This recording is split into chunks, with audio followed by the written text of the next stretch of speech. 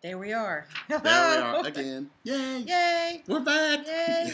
We are Lee and Sherry with Relationship Reinvented, and we are here to finish up well, not finish up, but to finish answering your twin flame questions that we had from before that we didn't get time to answer in the last show, and to do a little bit of discussion. And we're going to be doing this every week, so keep posting your questions. Um, you can find us at relationshipreinvented.com and twinflames.me. I know how to get to us. And um, we're at Relationship Reinvented on Facebook, too. Yes. That's where we're at. You know what? I, you know, we, we talked a little bit about relationship reinvented before, and we've talked about the whole twin flame uh, dynamic, but we talked about what it is that we actually do and how this is about um, the relationship you have to yourself and how you can actually change everything based on that relationship you create inside yourself. Because you're always creating it. It's whether or not you're carrying the other stuff that goes with it. But before we go all into that, um, we actually do gonna we're gonna read some questions here. Um, this one came from a dear client of ours. She's so sweet. Um, All of our clients are sweet. well, yes, they are. Well, there's a couple. You know who you are. We love you anyway. because we have uh, kissed and made out before, how can you tell when it's real as far as the connection? Was that from those clients? Um, no, no. This was actually Because um, it sounds like well, well. The thing I think the question really pertains to when you let go of psychological time, which is actually another part of the question, and Mm-hmm. you actually in that moment where you're kissing and you're actually connected. We remember that. I mean, we, well, we know what that is. Right. But that's um, that's actually yeah, you really can kind of tell because there's something that happens to you inside that you can't translate in thought. You can't Right. translate and make it something different. You just feel the essence and the pure energy that's there, and it's just so. Here he goes. Two minutes in. Well, I look. but you, Not- I mean, would, how would you answer that? Right. No, I'm right there with you. Um, it's wow, so spiritual. That's a good word. Yes. I, I'll go with that word. yes. I like that word. Um, we hear it a lot. Yeah, we hear it a lot too. Um, uh, you know, we kissed and things caught on fire inside, and I was hot down there, and all this stuff was happening to me, and then we hear it. I was able to leave my body and go into his. Oh yeah. That's- Well, you, we're able to do that. You're able to do that anytime. That is so And I- amazing. it's funny because when, when we talk to people who are connected, they don't spend majority of their time there. Are you out of your mind? Spend yes, you have to be out of your mind. That's pretty much how you go there. I'm out of my mind. Yes. Okay. Sometimes. So I think we, we we answered that one. Okay. So if your TF has a biological twin, which mine is, does the twin sister have the same soul as myself and my TF? All right. this is interesting because you have to remember that the connection itself is n- embedded in a place that's inside of you both that resonates a vibration energy that maybe all three of you can feel, but highly doubtful. Um, this vibrational twinge that I'm talking about, if you're feeling it from both, then well, you, you really need to pay attention a little closer because it could be that remember as they're twins they may be split in different parts of the energy you may be able to talk to one about one thing and talk to the other about another thing but the goal is to find out which one can which one is complete inside of themselves and whole inside of themselves and that wholeness that you feel within your own wholeness is the, the answer to the question is that Yes, would you answer it that way exactly that way. Yes. so it's it's very important that the communication um, that you have is it you, you'll know which twin you feel it from. You'll know. I mean, there's something in you that gets vibrated awake, and you might not feel that with the other one. It really is dependent upon that. It, it you only have one true source of where you're connected. Yeah. Yeah. Yeah. Okay. So I Mhm. think we Uh, Hope we answered that. Well, well, if if not, please send us another message. But I would tell you that you have to pay attention to what you feel inside and not overthink it. Go with the feeling itself, Mhm. that gut feeling, because Yes. that gut feeling is going to tell you the truth. Yes. Um, psychological time. What is it? I don't understand the difference between clocks and psychology. Well, you know that space that your mind doesn't have to create uh, what was or what is to be. Um, that's getting rid of psychological time. Um, that's purely being completely in the moment without even looking at a watch or a clock or a phone or anything that's really trying to tell you what it is um, as far as what the mind can absorb. Because remember, everything's related to time or relative to time when it comes to the mind. Let that go. It doesn't really serve a purpose. Whether it's daytime or nighttime, it's still just a matter of time. And that time really doesn't make a difference no matter how you look Right. at it. And remember, you are timeless deep inside. The thing we make time is the age and the difference and the experiences and everything else. Where all of that, when you really sum it all up, is just one simple moment. That fleeting glimpse of what your wholeness is, is without time. Yes. Okay. That's beautiful. Oh, thank you. is this where you make like the funny now? No, I would Okay. never. All right.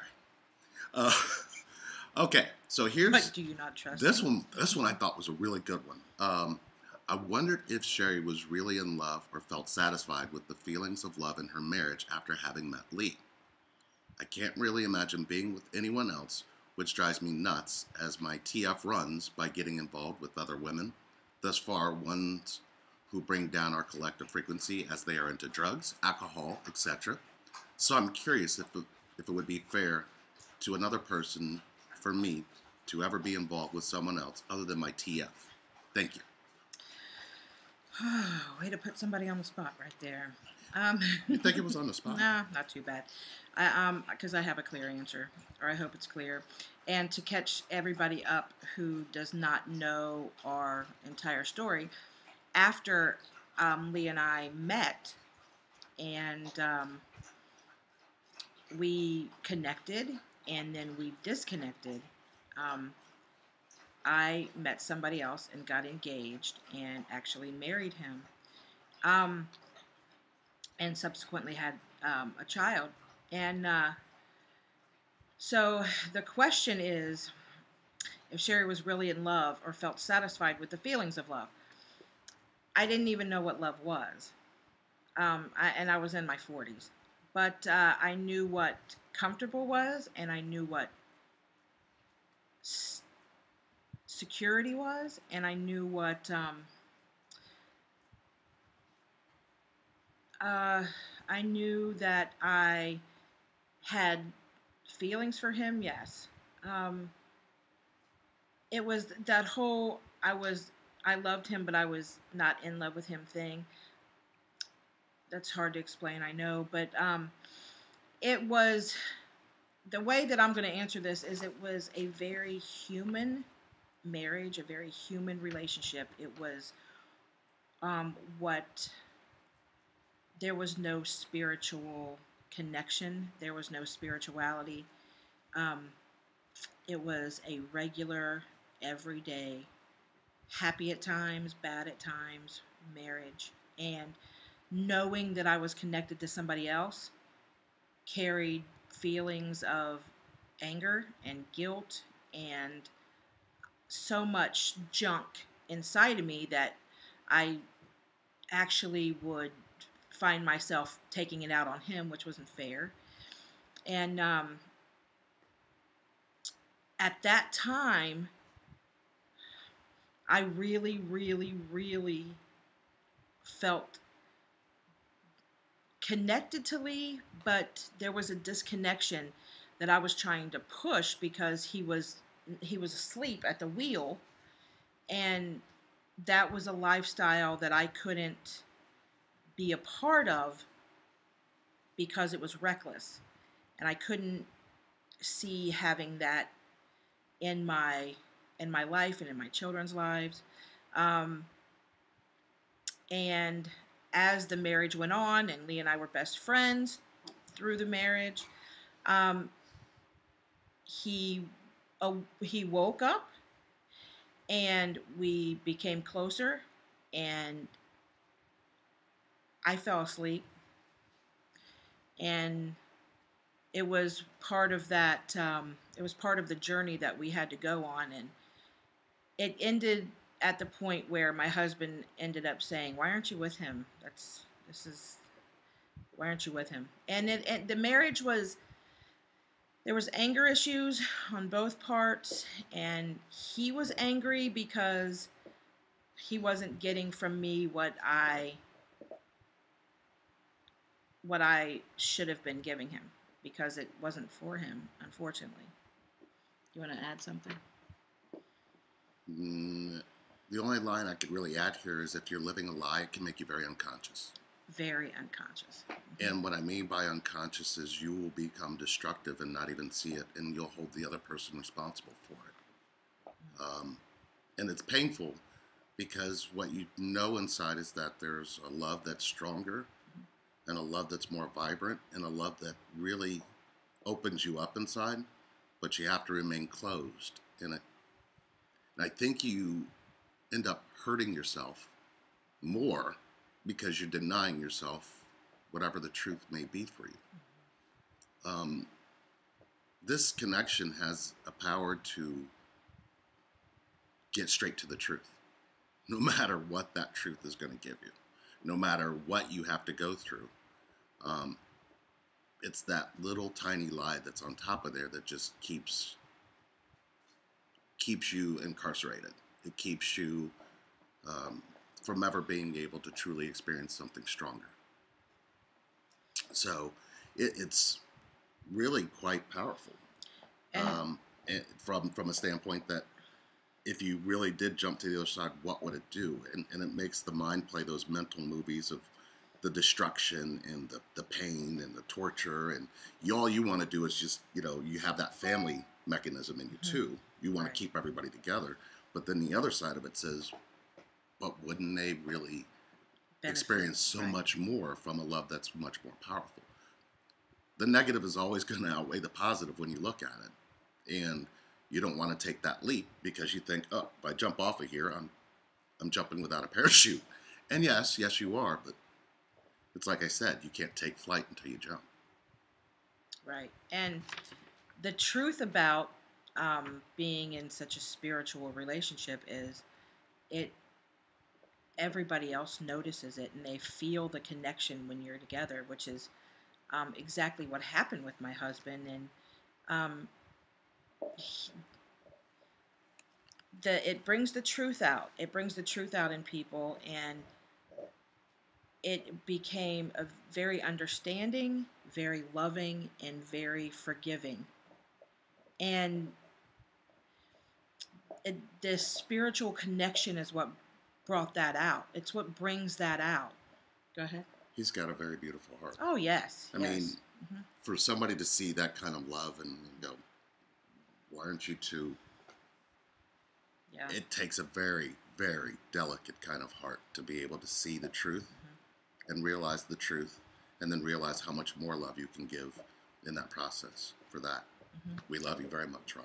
and he's a very big part of our lives. Oh, well, yeah, He really is. always will be. And um, Always will be. very big part of our lives. He's just one of our uh, greatest friends, and he's over here a lot. And we have him for dinner, and Which really leads into what we were we were going to talk about today. We're going to take a few minutes and talk about compassionate listening. Um. I'm having issues. I'm having light issues. Go ahead. Well, the light keeps It's the coming through. glow. It's the, glow. well, you always glow. it's the glow. You always glow. It is the glow. Um, compassionate listening. Um, Yes. you know, the, the belief is that there's not anybody who can hear what's going on on the inside of you. And, and most of the times you could possibly be right in your own mind that nobody can hear you. But the truth is, is when you start to hear yourself deeper inside, you'll be able to listen more clearly to others.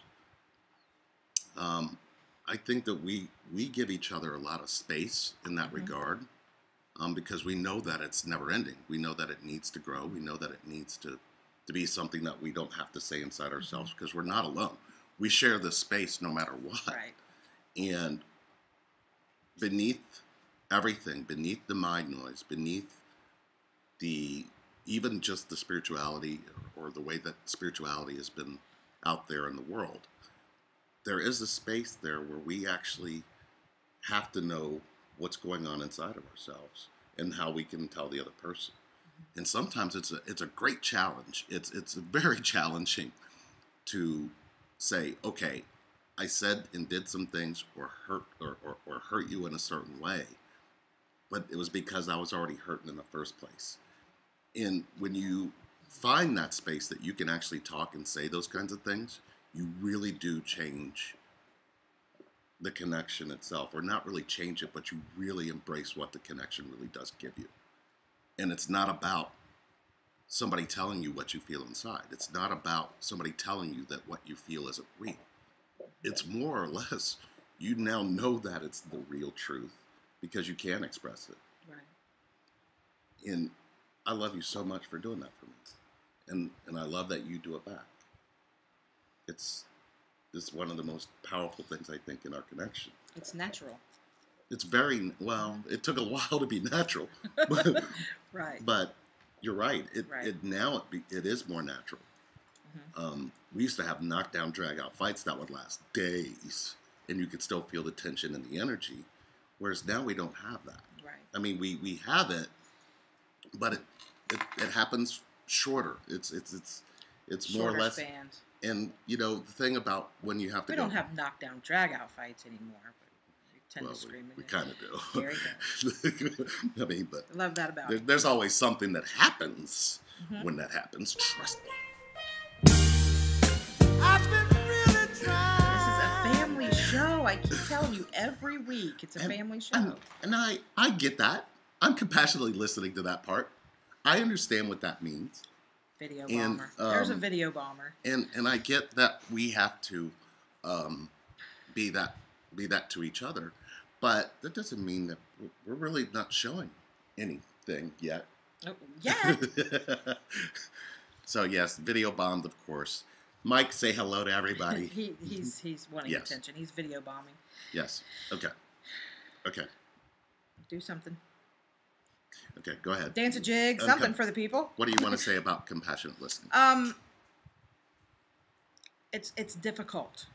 It's very difficult for those who doesn't who don't understand um, what it is. It's very hard to listen compassionately when somebody's saying something you don't want to hear. Um, it's very hard to listen to somebody who's saying things that are hurtful. Um, did you just? I'm trying to push him He away because he'll He- jump he up really and did. knock this over. but Stop, he's Mike. he's Go. Jesus Christ. says this is Okay, but go this ahead. is going downhill Yes. fast. Thanks, Mike. Thanks. a lot. Thanks. Um, it's it's it's it's hard, Sit. but it's it's a it's a it's a learned. Would you would you agree? It's a learned action or behavior. I believe that no matter what happens, the connection itself pushes the energy forward, and you don't really have a choice. Right. right. You have to find the path to go. Okay, maybe what I'm feeling inside, I need to just tell her about and not attack her with. Right. Um, and you do the same. You go, you know what? I need to tell him about it, but I can't attack him with it. Right. And it becomes almost, um, you're right, it becomes very difficult because you do want difficult, to. Right. Because you, do- want to. Um, you want to be defensive. You do. and you want to attack back. Um, and sometimes I, but I. I'm finding now that I just stay in my emotion. Um, when when you're saying things that are hurtful to me or that I don't believe in or that I don't believe is true, um,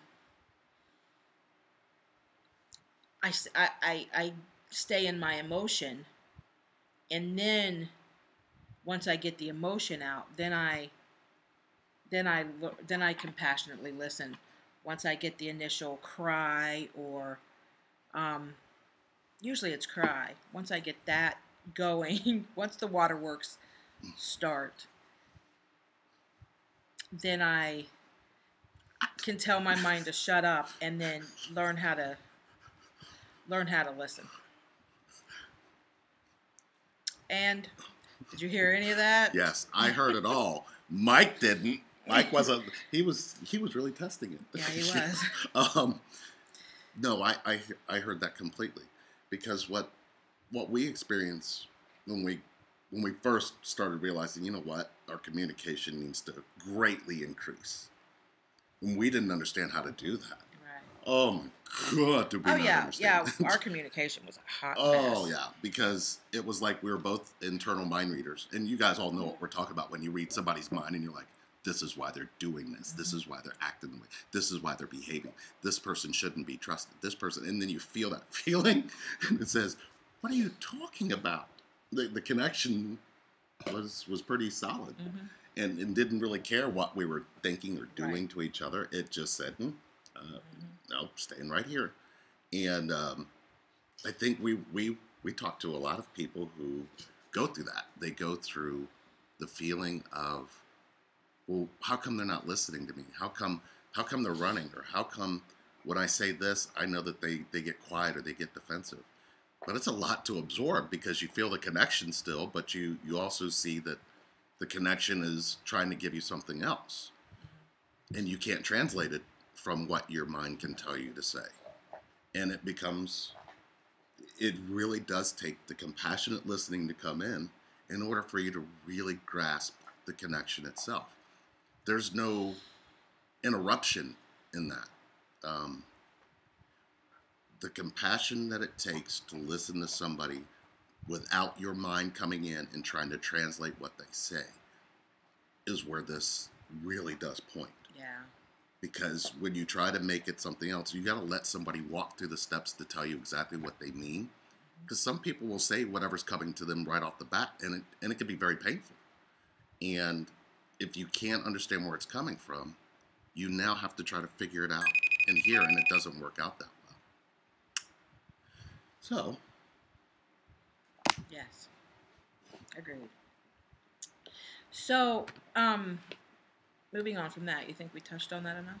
yeah, I think we really talk. Mhm. I think what really boils down to is what's going on inside you Mhm. in this connection.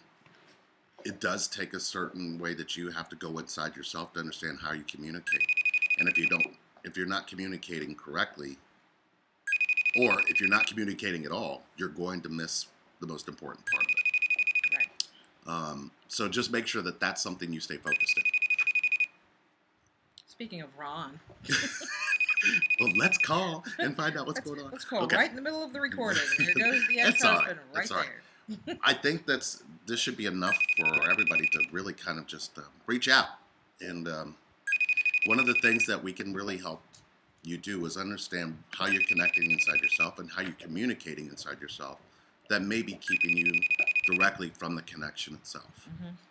This is not about what we can teach or guide or anything because we become as much of a student when we actually listen to you and hear where you're coming from and what you're going through. Um, and it's and it's very uh, eye-opening when you start to see how you communicate and how that impacts the other person. Oftentimes we um, don't communicate because we feel like it's going to be hurtful to the other person what we're feeling or what we're thinking. I did it. I didn't want to disappoint you. I didn't want you to think less of me. I didn't want you to feel like I was failing. I didn't want you to look at me differently. I didn't want you to judge me. I didn't, I mean, I could go on and on and on. Um, and Shady. some of those things happened, right? They did. Right. Some of those things happened, but it's the fear that keeps us from communicating. Right? I know. But uh, what I feel for you, aside from anything else, anybody else, even just doing these things, I get to spend every waking moment with you. And there's no judgment in that. Right. There never will be. Right. And it really does help me understand and better gravitate to my own wholeness, knowing that that's what I want to do for the remaining time that I'm here. And that's what we are here to help everybody else who reaches out to us for help. That's that's why we're here. That's what that's why we do what we do to help you get to to this point, to help you in your journey, to bring you to the place. Go ahead.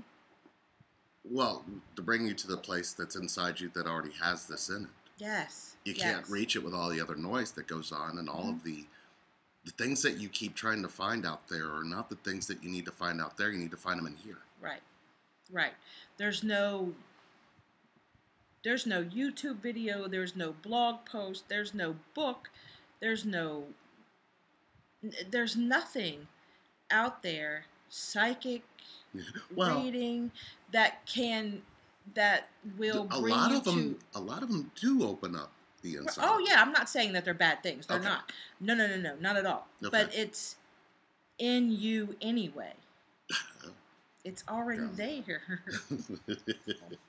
Look, it's like it. already inside of you and and reaching out for help isn't isn't wrong at all Not Uh, at all. at all at all Not at as all. a matter of fact i really do wish we would have had Well, So- we we did, we did in a way that we kept dreaming, Mhm, and and even in those dreams, we were we were shown our own actions. mhm, We were shown the outcomes of our actions. We were Mhm. shown what it was doing, and it.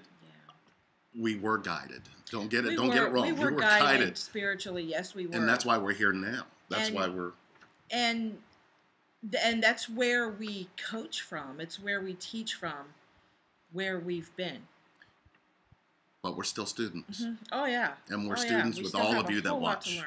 and and well, I don't even know learn is the word I would Mhm. choose. I would choose um, the wisdom that Mhm. comes from doing. Mhm. Um, that's what this is for. Um, because again, we learn a lot from all of you, and we learn a lot from what we experience with each other. Mhm. So, on that note, we um, coach from our souls.